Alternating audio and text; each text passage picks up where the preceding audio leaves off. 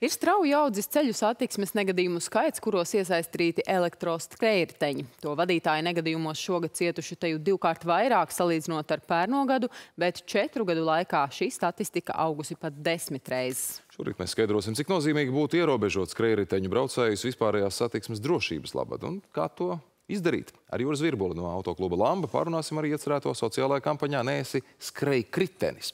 Labrīt! Labrīt! Pirms mēs runājam par kampaņu, tad varbūt šos ciparus iezīmējot kopumā, cik tad ievērojami tiešām aug cietušo skaits, jo es saprotu, tas jau pat ir nevis dažās, bet desmitos reižu mērojams, ja mēs vairāk gadu periodu ņemam. Jā, jā, nu, mēs jāņem vērā, protams, ka skrējritenis, īpaši elektriskais, tas ir tāds pilnīgais jaunums mūsu sadzīvē. Un 19. gadā, kad mēs pirmo reizi aktualizējam šo problēmu, kad parādījās šie pirmie skre, elektriskie skrējriteņi Rīgā, tad uh, vispār nebija nekāds regulējums šim te tātad jaunam mikromobilitātes veidam. Bet, ja runājam par mūsu sociālo kampaņu, neesi skrējkritenis, tad uh, tās mērķis ir veicināt pozitīvu un cieņpilnu attieksmi starp satiksmes dalībniekiem, kā arī vērst uh, uzmanību tieši elektroskrējriteņu vadītāju vidū par uh, drošības aspektiem, jo ne jau elektroskrējriteņi paši izraisa avārijas. Tad avārijas izraisa elektroskrējriteņu vadītāji, un var, var teikt, ka 99% viņi diemžēl arī ir atbildīgi par šo negadījumu. Protams, šiem izraisītiem negadījumiem ir, ir vairāk iemesli. Ja? Nu, un galvenais un tāds fundamentālais ir tas, ka nav ir pilnīgi nepietiekoša atbilstošā infrastruktūra. Tas, teiksim, būtu tāds mērķis uz vairākiem gadiem. Jā, skaidrs, ka to nevar atrisināt nevienā gadā, ne divos gados. Tas prasa vairākus miljonus, bet tas ir tāds strateģisks mērķis. Bet tātad mūsu kampaņas laikā mēs īpaši vērsīsimies pie, pie jauniešu auditorijas, kur ir visplašākie, vislielākā šī jaunā mikromobilitātes rīka lietotāji. Tātad, ar, ar to, kā atgādināt viņiem, ja, kad uh, viņi tāpat pakļaujas fizikas likumiem, un tāpat viņiem ir jāievēro savstarpējās uh, cieņas. Uh, tātad, li, likumi, ja, un, un bez rakstītiem likumiem. Tātad ir arī nerakstītie likumi, kur ir attiecīgi jāpalaiž, jāapstājās, jānovērtē. Tas nav citā. prātā cilvēkiem, jaunieši sakāt, nu tā kā vējš galvā vairāk, un tāpēc ir jāatgādina, jāatgādina. Nu taču it kā tu saproti, ka tu esi satiksmē, vienalga, vai tas ir velo vai elektro vai, vai kā citādi. Nu, kā tas tā saliekās? Redziet, te man uzreiz nāk prātā atgādinājums vakar atkal izskanēja plaši eh, informācija par to, ka eh, Korķis iebraucot jūrmalā ir līdz eh, liepājas virziena pagriezienam. Ja? Kaut gan Mēs zinām, ka iebraukt jūrmalā to var pilnīgi bez apstāšanās, jo šobrīd esošie tehniskie risinājumi nodrošina to, ka tev nav nepieciešams uzreiz nopirkt šo iebraukšanas atļauju. To var nopirkt tās dienas vakarā. Un jau cik gadus cilvēkiem atgādina, cilvēkiem stāsta, un tāpat kā ir labs laiks, atkal uzrādās simtiem autovadītāji, kuri, kuri nezina vai negrib zināt, vai, vai, vai, vai nesaprot. Tad līdz ar to tā atgādināšana ir nepieciešama. Un šeit, kā jau teicu, tas ir jauns tāds mikromobils mobilitātes eh, risinājums mūsu sadzīvē, mūsu pilsētā. Un, eh, diemžēl, jā, pilnīgi piekrīt to, ka eh, jaunieši ļoti bieži neapzinās, jo viņiem, diemžēl, ne visiem ir arī zināšanas par ceļu satiksmes noteikumiem. Jā, ne visiem pietrūks tātad savstarpēja tolerance, savstarpēja cieņa. Jā, viņi ir pie, pietiekoši tātad.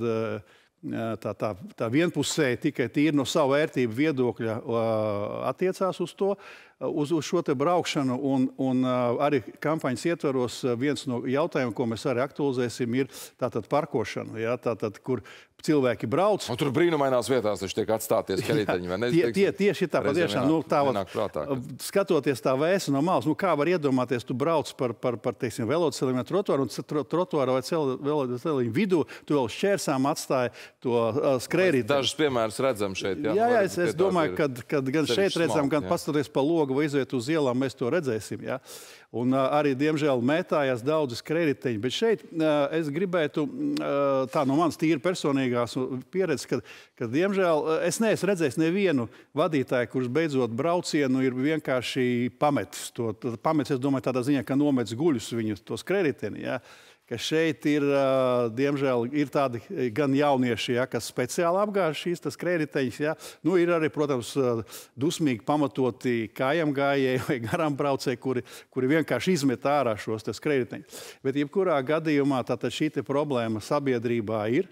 Viņa ir uh, sasāpējusi, viņa samilst. Jā. Nu, cerēsim, ka jaunie noteikumi, kuri stājās spēkā tātad 6. jūlijā, spēs kaut kā iegrožot, ierobežot šo situāciju. Kas ir par noteikumiem īsumā atgādiniet? Ceļu satiksmes, li, ceļu satiksmes likumā 6. jūlijā ir pieņemti tātad jauni noteikumi, kuri pirmkārt reglamentē konkrētāk, kāda tad ir uh, vieta šī elektroskrējriteņa tātad šī hierarhija, ja, un kā ar viņu tātad būtu atbilstoši ceļu satiksmes noteikumu likumam rīkoties. Arī, arī tātad ir izmainīti tātad atbildības limits par neievērošanu šo, te, šo te noteikumu. Ja. Nu, ir, ir pieņemti tādi nu, diezgan tā, tādi radikāli par, par reģistrēšanu, par, par, par identifikāciju, ka visiem skrejteņiem jābūt būs reģistrētiem. Nu, ir tāds joprojām diskutējams jautājums par ķiveru lietošanu, jā, bet tad uzreiz jautājums, ar, ar elektroskrējējiņiem vajag, bet ar riteņiem nevajag valkāt. Ja? Bet, jebkurā gadījumā, es esmu pārliecināts, ka tas būs pozitīvs uh, solis uz priekšu. Nu, varbūt ne tik radikāls, kā mēs, uh, kā mēs uh, gribētu.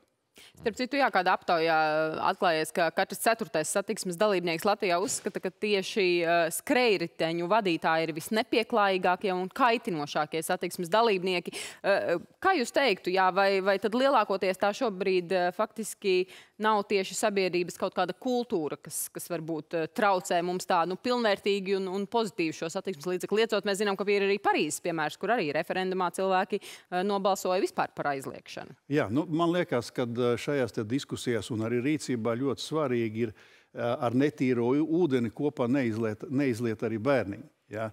Jo skrējēji, elektriskie skrējēji pierādījuši, ka viņi ir ļoti ērts un, un ļoti noderīgs rīks.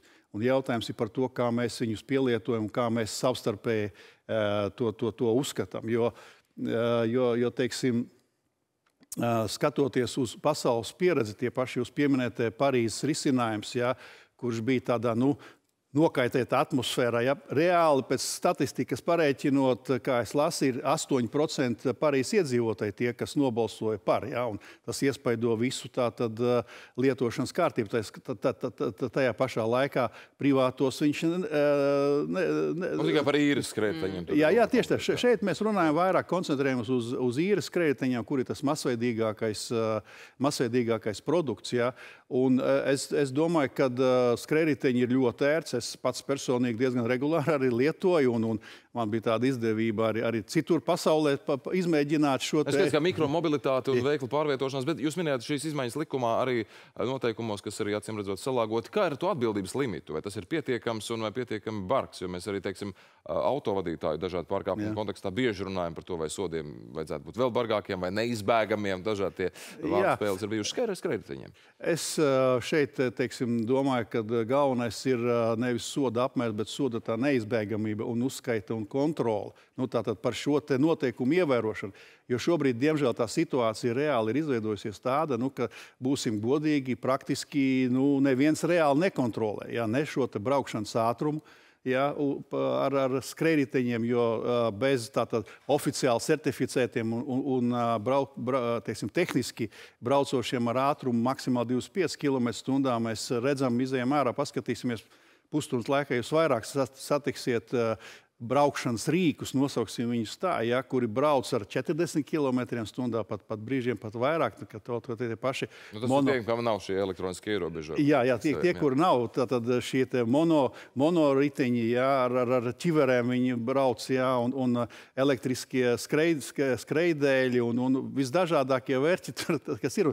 Un tādā ziņā, protams, ir nepieciešams tomēr ieviest tādu lielāku kārtību, jā, kaut vai tāds juridisks paradoks, jā, ir tie jauni jaunie mēs arī redzējām nesen elektriskie skrējēji, ko policija prezentēja, ka viņi, ka viņi izmantos, un tas ir ļoti pozitīvi. Bet, bet tajā pašā laikā, spriežot pēc visiem šiem te tehniskiem datiem, viņi atkal bija virs šīm noteiktiem limitiem, un tad, tad juridiskais nu, kāzus, ka viņi principā būtu jāpiereģistrē. Jā, no vienas puses, no otras puses, protams, ir nepieciešama nodrošināt kontroli un uzraudzību par to. Par dažās puses jūs šeit iezīmējat, nozīmē, tik ātri nu mēs nepabeigsim. Tas Rīga nebūs uzbūvēta tik ātri. Jā. Būs šeit vēl diezgan daudz diskusiju, ko svēt un mērīt. Bet noteikti mēs ceram, ka šī kampaņa neesīs skrejritenis.